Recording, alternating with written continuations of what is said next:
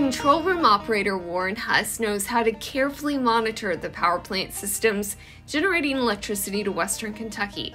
Getting readings, making out permits, answering alarms. Some days the coal's wet, your attention's focused on the mills.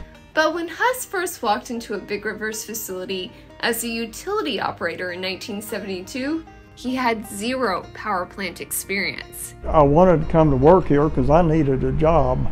Uh, there was a lot of equipment in a big place, and I was lost for a few days.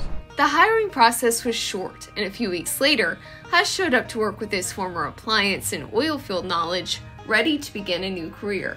Well, I started out at, at Reed Station, and then they sent me up to Coleman to work up there and for training. First three months was like four hours training and then four hours working on the, on the unit. These were the early years for the Big Rivers power plants, with the first station generating electricity in 1969. His new job sometimes called for interesting solutions. The six months I was up Coleman, we shot uh, shotgun and knocked slag out of the boiler for 12 hours a day a lot of times.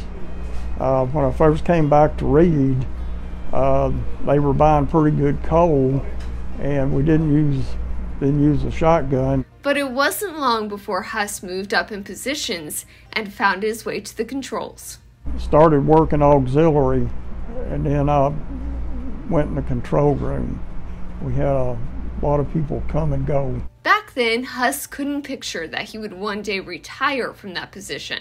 The only thing I really knew is it was a steady job. And it turned out really well because I liked it. Work in the plants evolved over time as manual controls turned to digital. But the transformation that means the most to Hust is the development of safety. 1981, we got it in uh, in the contract that we'd have a bargaining unit safety representative, and I was first bargaining unit safety representative they had at Green, but it was a new position, a, a new concept. Hust and other Big Rivers employees would later volunteer for Kentucky Safety and Health Network leadership positions and coordinate with the company to create a safety motto. Employee safety meetings became the norm. Those efforts would soon produce significant results. We've got a graph each year that showed how many recordable injuries we had. Well, 1981, we had 181. And that's at this station, that's 181 trips to the doctor for recordable injuries.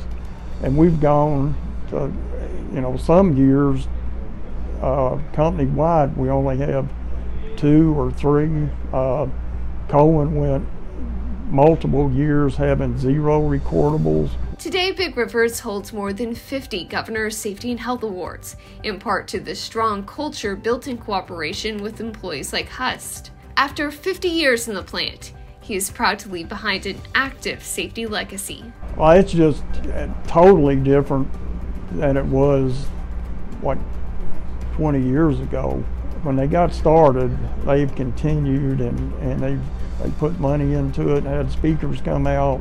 Safety has just gone to, from being an afterthought when I first hired in to just really being top priority.